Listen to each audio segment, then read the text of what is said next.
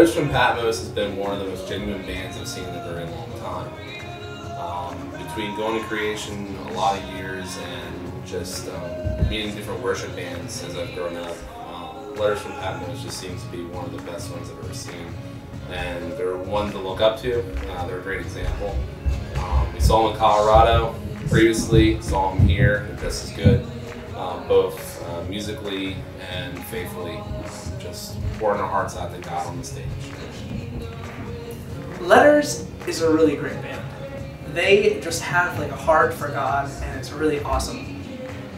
I've seen them twice now, and every time I can just really get pulled into um, just like a focus on God and just like really pouring my heart out to Him. Guys, I thank you so much for coming out today. You guys were amazing. Um, God has really used you in a powerful way, and I do hope that He uses you and you become big. And I just thank you guys. God bless you.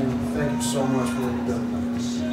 When I see Letters from Patmos, I feel like they're really like down to earth and like they're all about the music and about God and about like being together as a worship band and I think that's really cool. I like the songs. I like the songs. I like the counting on the sheep.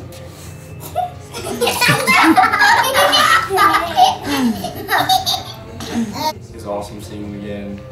Go to Shady Maple with them this morning. It was, it was a lot of fun. And uh, it was awesome to come back.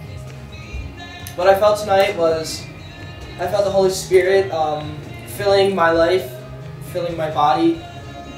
Um, and every time I hear their music being played or hear them live, I always get that Holy Spirit filled feeling, and it's just really awesome.